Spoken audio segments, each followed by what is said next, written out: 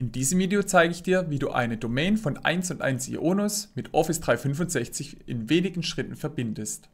Für dieses Video habe ich mir eine Domain bei Ionos gekauft. Wir klicken bei Ionos auf Domain und gehen dann hier unten bei unserer Domain itechpg hinten bei den drei Punkten auf den Punkt DNS. Das ist es, wo wir hinwollen. Es kann sein, dass bei euch schon mehrere Records hier stehen, wie zum Beispiel auch ein anderer CNAME oder ein MX-Record. Das ist gar nicht schlimm, wir lassen erstmal alles so, wie es ist.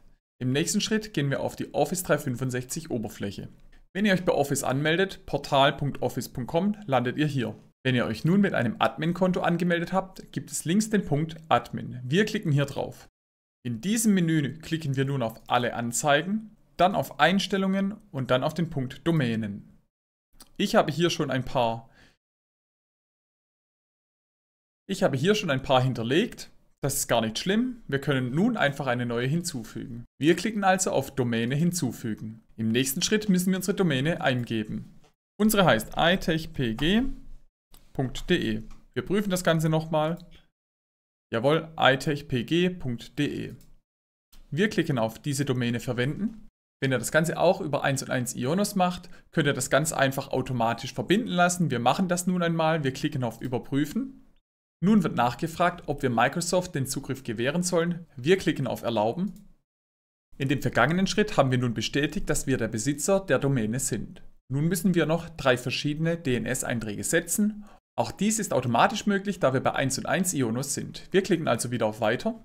Wir sehen nun, welche drei DNS-Einträge gesetzt werden. Das ist einmal der MX, das ist einmal der TXT und einmal der CNAME-Eintrag.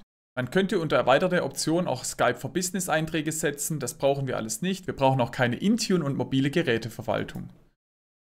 Wir klicken also auf DNS-Einträge hinzufügen, nochmals erlauben, Domain-Einrichtung abgeschlossen. Wir klicken auf Fertig und sehen nun, die itechpg.de ist fehlerfrei und somit können wir nun Nutzer anlegen, die die itechpg als Domäne hinterlegt haben, wie zum Beispiel info at itechpg oder ähnliches.